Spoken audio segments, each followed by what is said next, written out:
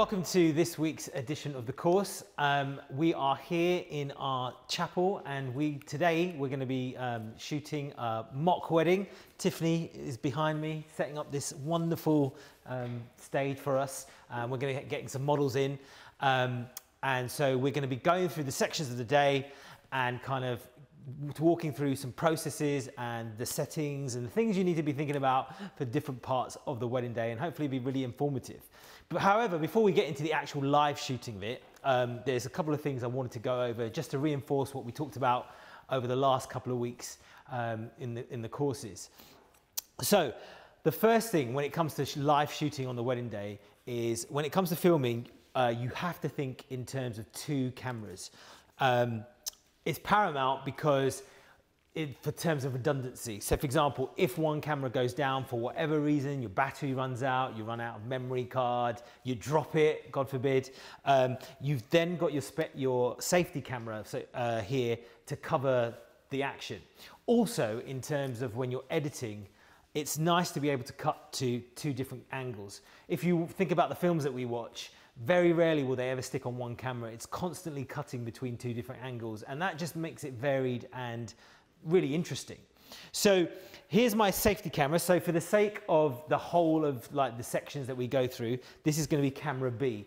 And I've got my um, zoom lens on, 24 to 70. As I said, if I had to pick one lens, um, it'd probably be, when I started out, it would probably be a 24 to 70 because I'm yet to find my style. It's a real versatile lens. So I've got a 24 to 70. I've rocked up to the church. I can see that it's quite a smaller venue. So I'm probably going to have it at 24, so the widest that it can go. And I'm going to be setting that in the corner, probably there for different parts of the day or different around different places. But generally, I know this is my wide camera. This is my wide setting. So this is my safety camera. Um, and this is the camera that I'm going to be shooting handheld. And this is going to have my 50mm, my favorite lens on it, the 50mm, one, Sony 50mm 1.2. Um, and it's going to be on this camera. And this is going to be shot handheld.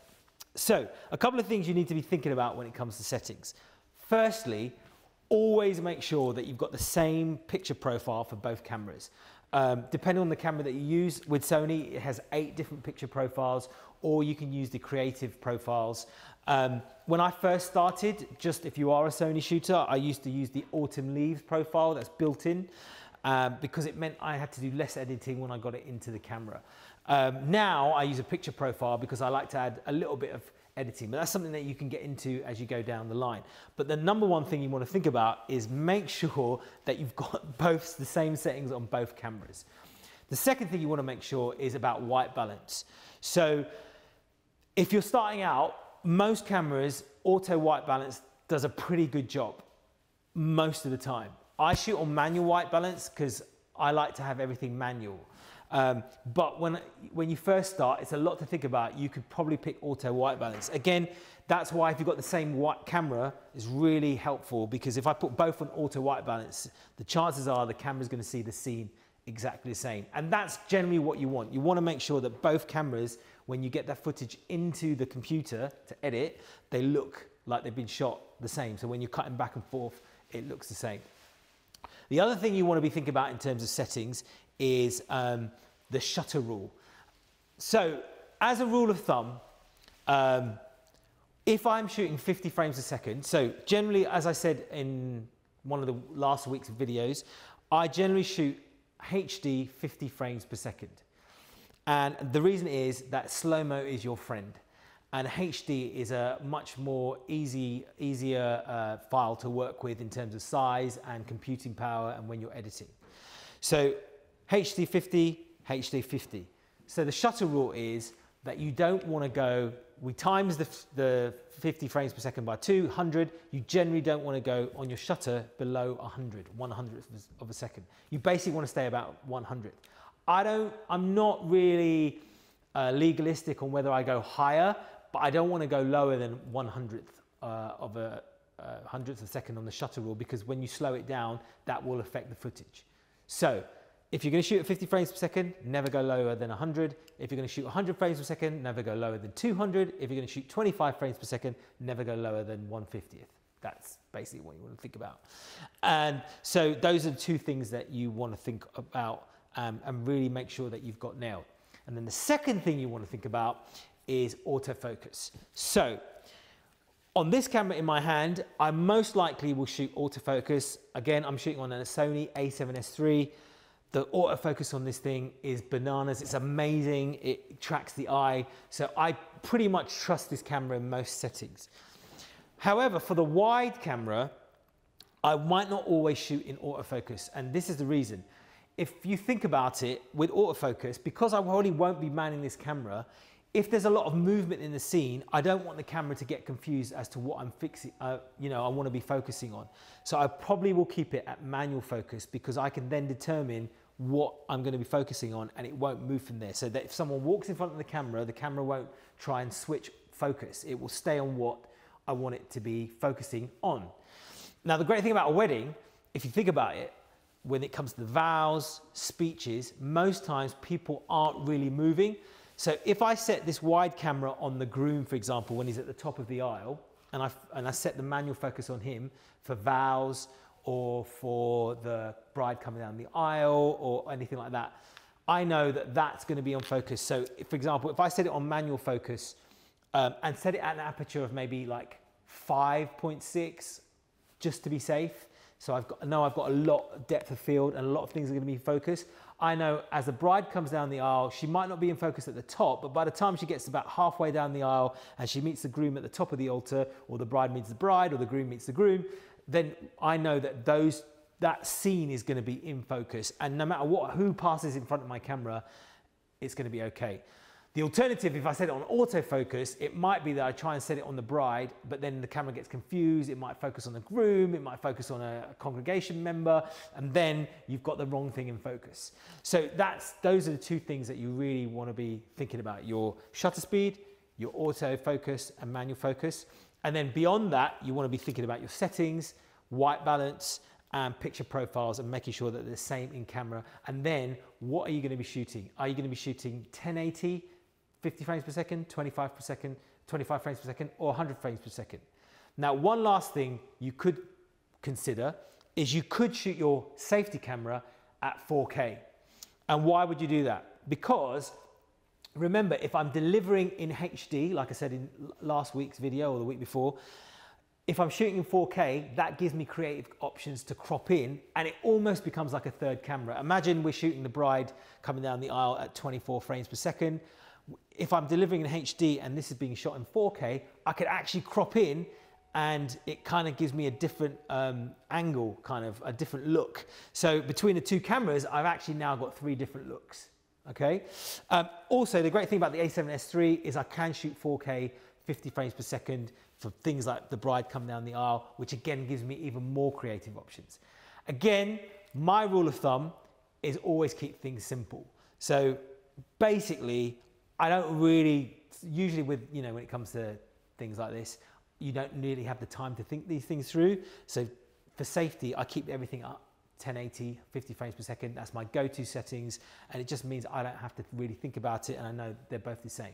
If I've got a little bit of time, I'm considering it, I'm in a certain setting where I might need it, then I might switch to 4K. So again, that's something else that you want to be thinking about. Now, all throughout these videos, as we go to each scene, I will be referring to my safety cam as cam B and this cam as cam A, and we will be cutting between both to show you what the different scenes look like and how you could put that together. Now, the last thing I want you to be thinking about is this term called B-roll. What is B-roll? So B-roll is basically any footage that you'll add on top of your main footage. So for example, let's say we're pretending we're shooting the vows and I have my wide camera and I have my, um, my telephoto lens handheld. I'm going to be switching between these two for the vows. But to make my footage interesting, I might introduce shots that maybe might be a shot of a, a window or a light or something around the altar and lay that on top of them uh, on top of the vows, and we call that B-roll because it's just adding visual interest to whatever's going on underneath. It can be quite repetitive and maybe a little bit boring for the viewer if you're constantly just sticking on one angle or sticking on the, the actual main angle, uh, main action that's happening. So B-roll is great because it adds visual interest and you can cut away, but at the same time, if you've got the vowels or the speeches or something going on underneath, the viewer kind of knows that you're talking about that scene. And we'll be referring to that as well. So whenever, throughout these videos, if I say camera B, camera A, or B-roll, you'll know exactly what I'm talking to, uh, talking about. Now, one thing to consider if you're going to shoot handheld, um, the image stabilization on these cameras, uh, especially the Sony cameras, are amazing. They're like five stops. So I am happy to shoot handheld. However, there are certain things that you need to think about in terms of technique. The first thing is, is when it comes to shooting with, your, with a camera, you always want three points of um, stabilization. And so when we're shooting handheld, the three points are hand, right hand, left hand, and then my head. If I haven't got my glasses on, I'll put my glasses off, and my head will act as the third point of stabilization. So you can see here that this camera right now is pretty, that's pretty rock solid. And when we cut to this footage during each scene, you'll see that it's pretty stable. And again, if there are any micro jitters, slow-mo is your friend. You can slow things down. Now, the other thing you have to think about is your arms. You want to keep your arms locked in and solid and close, and you want to keep the camera to your head, and that will give you the best chance of, you know, getting really stable footage when it comes to handheld footage.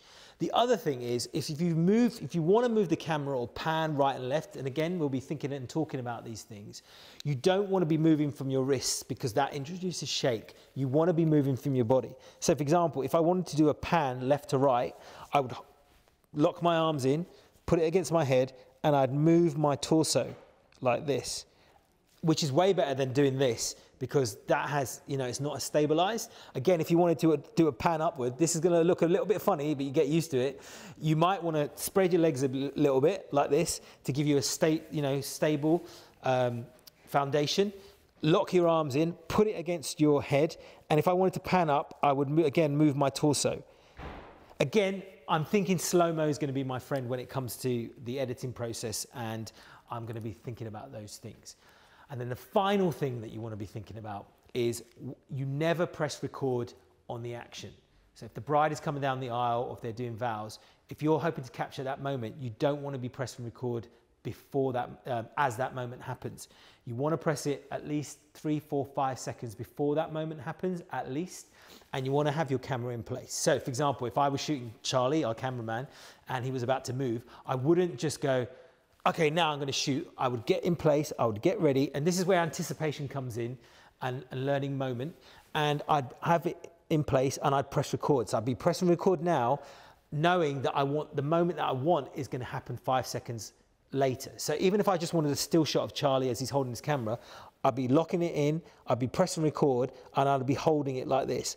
And then once the moment's finished, I don't put the camera down or stop pressing record. I keep recording through because you never know what's going to happen. And trust me, you will thank yourself in the edit because psychologically, for some reason, when we're shooting live, we always think we've shot longer than we have when the truth is, is not true.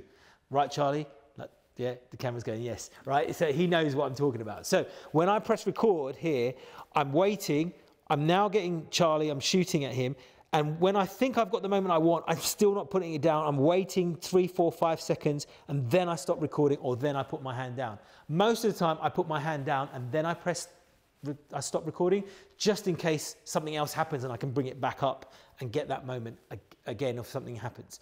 So I hope that's everything. That's kind of covered everything that you need to be thinking about when we're shooting. Don't worry, as we go through each section, I'm going to be re, you know, gurgitating these things, reinforcing these things, um, and going over these things again and again and again because they're really important.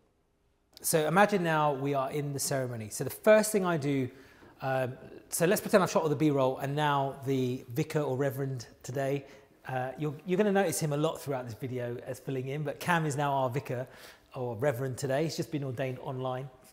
Amazing what you can get online nowadays.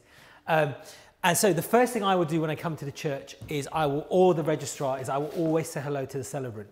And I'll introduce myself, say hi. Welcome. Reverend Father, my name's Mick. Pleasure. Um, um, really excited about today. Just wondered and I will ask, what are the house rules? Because I want to get on their good side. I want to be respectful of any traditions, any religious things, anything that's holy, anything that's legal. And so I asked what the rules. Thankfully, he's a super cool reverend, and you said I can do whatever I want. The harder your party, the better, my friend. Oh, that's amazing, fantastic. Now, as I've introduced myself, I will also ask if it's okay to mic him. Now, remember what I said when I. Um, actually, in real, if I was shooting a real uh, wedding, because of the size of this venue, I probably would actually use a Sony TX650. Um, but again, because when you're first starting out, we want to make this as simple as, as possible. Look how easy it's going to be to mic him. Remember, we need our audio. I'm going to turn it on. I'm going to press record. It's now recording. I'm now going to pop that in his jacket. That is now going to pick up everything that he's saying. Don't forget that he's going to be probably doing most of the speaking throughout the ceremony. Then I have another TX650, which is going to come and I'm going to go to Pat. Now, this is probably the first time I'm going to see the groom. Make sure you say hello. Hello. Are you excited about getting married? Yes. Fantastic. Yeah, cool. Uh, it's the first time he's met his bride. he doesn't know who's coming down the aisle. Um, so again, I'm turning it on um, and I'm pressing record and then I'm popping it in his lapel jacket. Now, bearing in mind, if you think about it, when they do the vows, they're going to be turned and facing each other. That mic is going to be enough to pick up the bride, and it's going to be enough to pick up him. So I've got both of those people covered. Now, the other thing you might want to do is if we if we were going to have a reading, let's pretend that the reading was going to happen over here. I will ask where is the reading happening, and I will put the the mic like there, so that's picking up the reading. That will also then up, act as my backup mic to get anything just in case these two other mics go down. So I've got my two sources of audio okay? Uh, but for today's purposes, I'm gonna whack it in um, Pat's pocket and it's all there, right? So before game time happens, I'm also now gonna set up my B camera. Remember we said we always have our safety camera. Now with your safety camera, you've got loads of choices. This is gonna be on my wide angle. So it's gonna be on 24. I'm looking at the room. And the thing I have to bear in mind is that I do not want to get in my wide camera shot, and I do not want the photographer, if possible, to get into the wide camera shot. It's not always possible. So if I put the wide camera on this side, I'm generally going to shoot from the other side. If I put the wide camera on that side, I'm generally going to shoot from this side because that way I know I'm never walking in my shot. So if I have a nice spot at the front, I'm going to set my wide camera for the widest angle possible. And the great thing here about 24 is I know uh, we can see our bride at the back, but I know I've got my bride coming down and I know I've got Pat in the shot. So I'm going to get that whole shot. I'm going to stick it on manual focus and I'm going to stick it at um, a high aperture. So let's put it at uh, 4.5. My ISO is at 6400, which on the A7S III, great low light performance is not a problem whatsoever. I'm shooting at HD um, HD 50, so my shutter speed's at 100. I'm at 5, I'm focusing on Pat. But because I'm at wide angle and because Pat is in focus, I'm still gonna get a lot of Faz as she comes down the aisle. I'm still gonna get a lot of her and I'm gonna get the critical moment when they see each other at the first time at the top of the aisle. Now, so I will go for this position if I can get it. In this case, I'm probably gonna shoot from this side, so I'm gonna put it on this side. The other position I might take is at the back of the room, uh, behind, you don't have to come around here, but behind, behind here. So this is another position I could have that camera because remember it's my safety and the great thing is it's gonna get Pat's face and it's gonna get Faz as she walks down the aisle and they see each other for the first time. The only problem with that is I'm probably gonna be in the shot, but that's okay because what will happen is you'll see that once they meet at the top of the aisle, there's going to be a bit where there's, you know, they're going to face each other. The Vicky's going to do some housekeeping. I move out of the shot. I know that my safety's running and I've got the whole back of the, um, the back of the, the congregation, the back of the scene, I've got everything there. So remember, it's your safety camera, so it's up to you where you place it. For today's purposes, because we have full control, I'm going to put it over here. So I'm going to choose to put it on this side. Um, and I'm going to put it up wide and I'm going to focus on Pat's body. Now, with manual focus, the thing I use on here is called focus peaking. And focus peaking basically means that anything in focus, when your manual focus goes red, so I don't know if you can see here, um, well, it'd be easier if I did on that light. You can see that if it's in focus, the red outline is is highlighting red and that's showing me what's in focus. If I in doubt, great thing about Sony's is you can punch in focus and you can actually check. Not all cameras have that punch in focus, but for manual focus, I think that's really cool, especially whilst you're recording. And now I know that's definitely in focus. So because we're going for pat, I'm gonna go over here again. I'm gonna set my manual focus and I'm going to make sure Pat's in focus. The top, yeah, he's in focus. Remember, it's F5, so I can take liberties. I've got a nice shot here. I'm going to press record because there's no um, there's no time limit on the A7S III. I, I know I can just leave it. So with most of the new Sony cameras, there's no time limit. I'm not sure about other makes, but with the Sony's, there's no time limit. So I can leave it running the whole ceremony if I want. It's my safety camera. I know Pat's in focus. I know Faz is going to be in focus. And now I will take my position.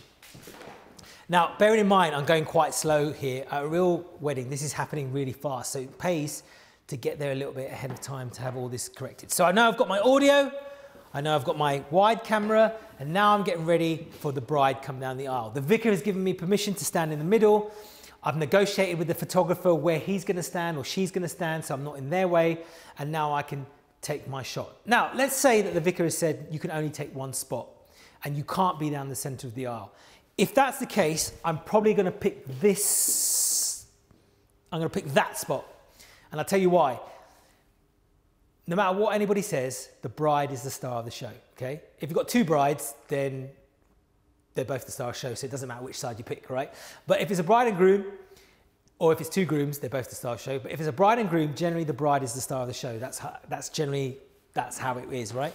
So I'm going to take this spot and my camera, my wide camera is going to go on that side and I'm going to stay on this side. Why? Because if I'm not allowed to move, when they do their vows and they face each other, I have now got the face of my bride and I've got her the whole time as the close-up, okay? And my wide will have my groom, okay? But thankfully, Cam's very, very, very, um, you know, it's very, uh, what's the word? Relaxed and he's let us stand anyway. So he said I can stand down the middle of the aisle. Even though he said down, I can stand down the middle of the aisle, I don't want to get in the guest way and I don't want to be that videographer who is obscuring this wonderful family moment that's going to happen, right? So I will probably kneel down as she's coming down the aisle. Why? Because if I kneel down, most of the people are looking at Pat, or they're looking at Faz as she comes down the aisle, they won't be looking at me, and they're standing up. I can still get the clear shot down the aisle, and I can still get a reaction shot of Pat if I want. Now, the other thing to remember is that when Faz comes down the aisle, he will already be. Are you nervous? Very nervous. He's already nervous, right? Most likely, he's already going to be having anticipation before she comes down the aisle. So I want to be shooting him before, and I want to say, hey, Pat, pretend I'm not here, just focus on Faz, she's coming, da da da da. And now I'm getting out of the way. So I'm filming him as he's getting ready. And if I'm lucky, you know, he might give me a or he might wipe his eye, or he might give me a smile, or he might do something with the best man. That is now a great reaction shot to when Faz is coming down the aisle. When we cut in our edit, I can cut back and forth between, and because of the magic of editing, it doesn't look obvious that, you know, that these, it doesn't look obvious that it didn't happen at the same time. They would just think, wow, how did you get both shots at the same time? And that's kind of what we're doing. So now I've got, I'm, I'm so pretend she's about to come. He, you know, the vicar said, all rise. So now he's standing. So she hasn't come to the door yet. He's breathing in, he's nervous. There you go, look. So I've got that shot, fantastic. Cool. And now the bride is coming down the aisle, and now I'm going to get her come down the aisle. Now, what are my settings for her come down the aisle? I could shoot it manually, the risk there, well, if you've got focus peaking, you're just going to have to keep adjusting focus as she comes down the aisle. Again, that's something that you should practice. I use, on my Sony a7S IIIs, like I said, the autofocus is amazing. It's got eye tracking. I kind of going to trust the camera to do its job. Um, and the great thing about with the, paired with the Sony uh, 1.2 is I can override it if in case the camera makes a mistake. And I can constantly punch in to see that it's, it's in focus. So that's brilliant. So Faz, are you ready to come down the aisle? Are you ready? No joke. Sorry. so she, let's pretend she's now going to come down the aisle. I've got my reactions of Faz. Um, oh, sorry, Pat. I've got my reactions of Pat already, and now she's come down the aisle. I am sticking it in um, autofocus. I'm locking onto um, our beautiful bride, and it, it, it's amazing. The, the, the eye autofocus is now tracking her face. So Faz, you're, gonna, Faz, you're now going to come down the aisle. I'm holding still and I'm not moving. If I move, I'm moving my body slowly. She's coming, she's coming, she's coming. And then I will move out the way because I know my wide has got the camera and then I'll quickly come over here to get the reaction. Okay?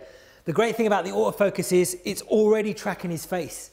So I don't have to worry it's kind of doing my job for me. It's kind of cheating. But if I was manually focusing, I probably wouldn't shoot at 1.8. I probably would um, shoot at maybe like F4, F4, F4.5 to give me the greatest chance of getting some of that in focus. And again, slow-mo, and I'm just slowly focusing and then I'm moving out the way, okay? So the other option I could, right, so the magic of sin, the magic of this, say, so Faz, we're going to reverse. So come, you're going to go back down the aisle, like reverse, the magic of, you know, this, she's going to go back up the aisle. If I shoot down here, for me, I get the cinematic shot of her coming down the aisle, okay? But I lose, potentially, that moment at the top of the aisle because I have to move. So when she's halfway down the aisle, I have to move over here to get in position for when they have that moment at the top of the aisle, I know my safety's covering me, right? On the flip side, I could shoot the whole thing from here and focus on Faz coming down the aisle. So Faz, now you're going to do the whole thing again. Again, my eye autofocus is, is tracking it, doing a beautiful job of tracking. And I'm literally just moving the camera.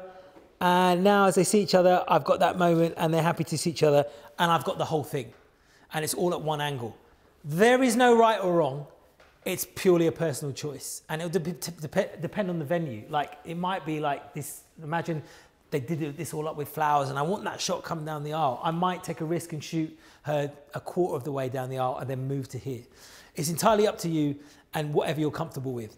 If you're not comfortable moving when you first start out maybe just pick a spot here because this is probably the safest spot and you're going to get everything. You're not really going to make any mistakes here. So that's uh, generally what i would choose so that's basically everything we want to think about when the bride is coming down the aisle. I think I've covered everything. So remember, when you come in, make sure you introduce yourself to the uh, whoever's the uh, charge, the reverend, the uh, officiant. Say hello, mic them. Say hello to the groom, mic him. Get your, your other mic in place so it's there. Set up your wide camera. Make sure the settings are the same on both cameras in terms of white balance and picture profile. And then pick your spot. Uh, and don't forget to get reactions before the bride comes in because that's going to be great to cut to in the video and then pick your spot for when the bride comes down. Are you going to be here, get the safety shot of her coming down? There's nothing wrong with that. Or are you going to go for something maybe a little bit more cinematic in terms of her, that shot as she comes down the aisle, then make sure you've got to run into place and get that. It's entirely up to you, uh, whatever you want to do. So we've done the bride come down the aisle, so now we're getting into the real meaty part of the ceremony where we're coming to the vows. The main thing I think, not the main thing, but one of the main things you need to think about is when we move, we want to move discreetly so that although we're trying to record this whole thing, we also don't want to detract from the live feel of the event. And a wedding is really like a dance. And there are certain bits where people move, where if you move, they're not even going to notice that you're moving. So, for example, if you're in a church and they do hymns, that's a great time to move from one place to another because people are generally singing, they're not thinking about it. But another great time to move is when they meet at the top of the aisle, the vicar is probably going to say something like, Take your seats. You may take your seats. You may take your seats. Yeah, you may take your seats.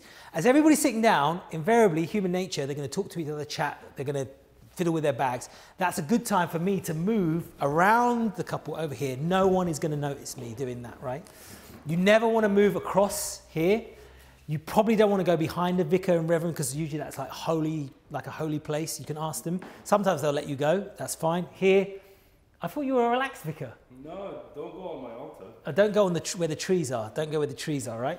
Now, why I would come over here is because I'm going to have to move this wide angle um, because it was set to Faz coming down the aisle. I'm now I'm going to move it to the couple, and this is my safety. It's on manual focus and it's on F5 at 100. I'm going to punch in and I've got Faz in focus. I've got Pat in focus because it's F5. They are most likely not going to move from that spot. Um, if they move, it might be because we have a reading. It might be because um, they're going to sit down and he's going to, uh, the, the vicar's going to give a sermon or something like that. Then I'm going to have to reposition this camera. But today, for our little elopement wedding, um, they are not moving. They are staying there. In a registry office wedding, they probably won't move as well. So they're staying here. So that's fine. That's my wide camera and it's here. If, for example, they had a reader, this would then swivel around to the reader. If the vicar starts to give a servant, sermon, we just swivel it around and this becomes my safety for the, um, the sermon. The sermon? Yeah, the sermon. Um, if there's a hymn, I just leave it on the couple and that's fine. So for the purpose of this, um, I've now repositioned it. So now we're getting to the bit where they give their vows. So you are here going to have to pick your battles, right? Sometimes in, in a ceremony, um, you can't keep moving to each side when they give their vows. I've picked Faz as the like the star of the show. I'm taking the risk on that, and so when they give their vows, I'm just going to um, stay here and I'm just going to film her here with my clear image zoom again, which I can punch in. I don't have to move and I can zoom in. So actually I'll film that. I can zoom in and zoom out and I know that I've got a pretty good image of Faz and I can then come out on clear image zoom and I've got a different shot and I've got my wide shot here. You could also say that once this has been fixed, another thing that you can do is you could choose to get the bride's face for the, there's two parts of the vows, right? There's the ring exchange and there's the vows bit. I could get Faz's face for the vows, and then when they do the rings, because invariably the celebrant's going to say, Do we have the rings? The best man's going to step up. As he steps up, that's another chance that I can move to the other side. So I could film all the vows on this side.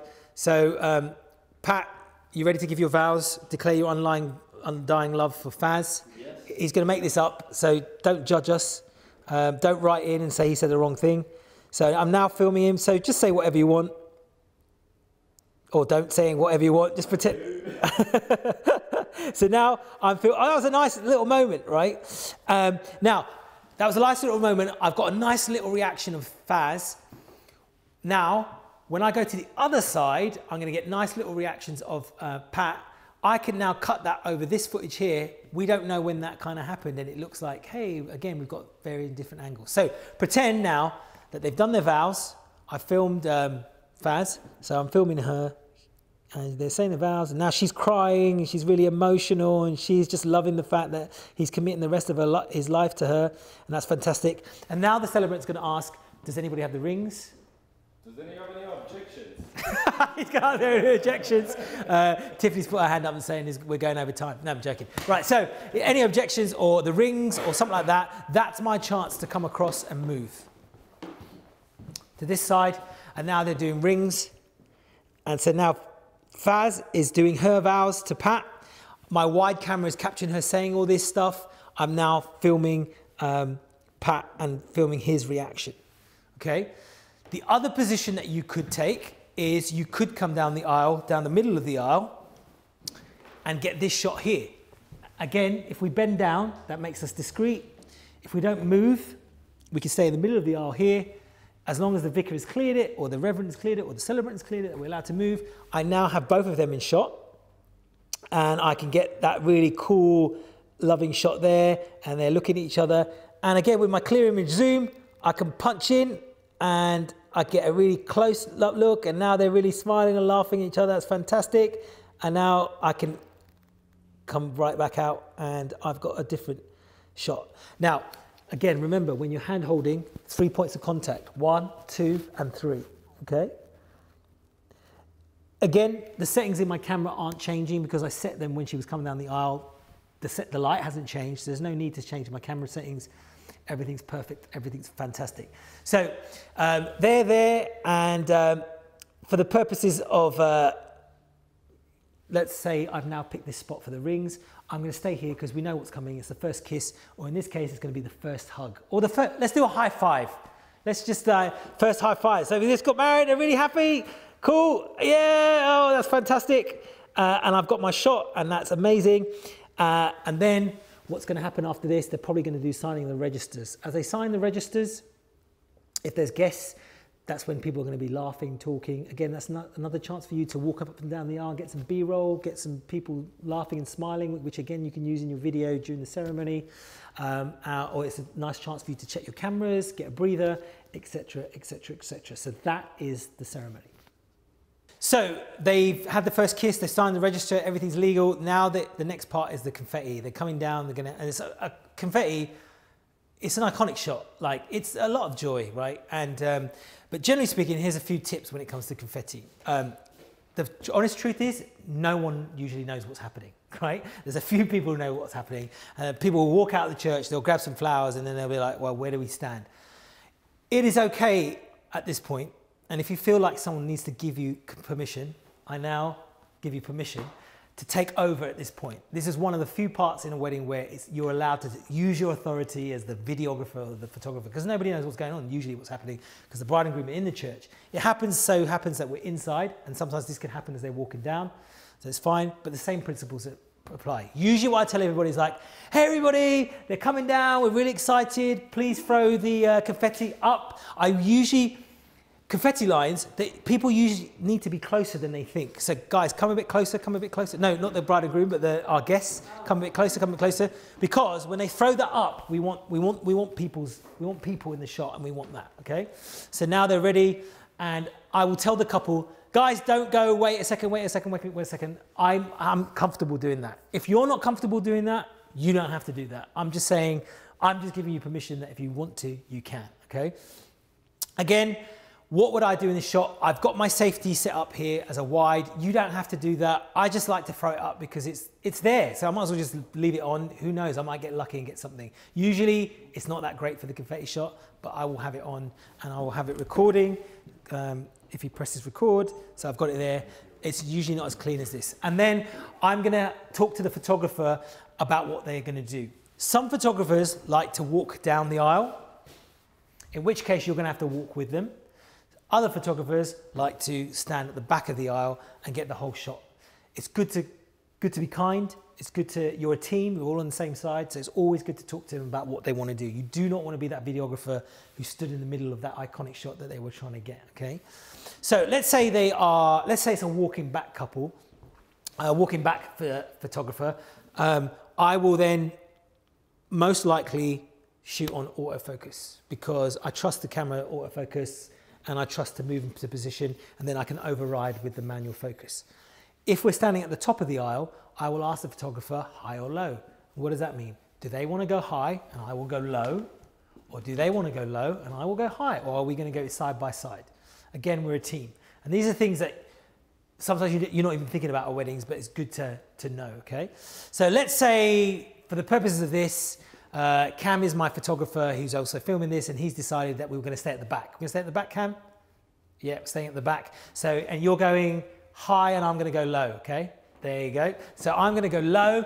I'm going to set my point. Um, so we can get a bit arty. We can get a bit arty with the confetti, right? I could set my manual focus on Cam's hands, and I know that when they cross that line, they're going to be in focus. So they're going to be out of focus. They come into focus. They go out of focus.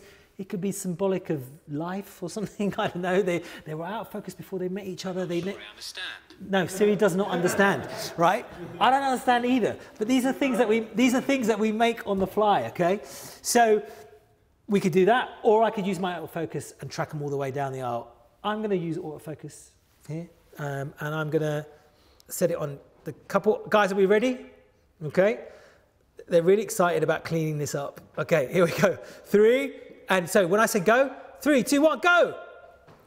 Yay! Fantastic. Tracking them. And then I'm going to move quickly out of the way and let them come. So that's completing the confetti shot. Um, and I'm getting out of the way. and then we're going to go to the next section. How does it feel to be married, guys? Amazing. Yeah, Wow. they've just met each other. Like we just bringing people together, one, one, one marriage and one video at a time. So this concludes the ceremony bit. Now probably what's going to happen is a mad dash for me to get my cameras. Don't forget to get your mics off the groom. okay, and off the celebrant before they walk off. Make sure you get your mics, um, and then get all your stuff in the car.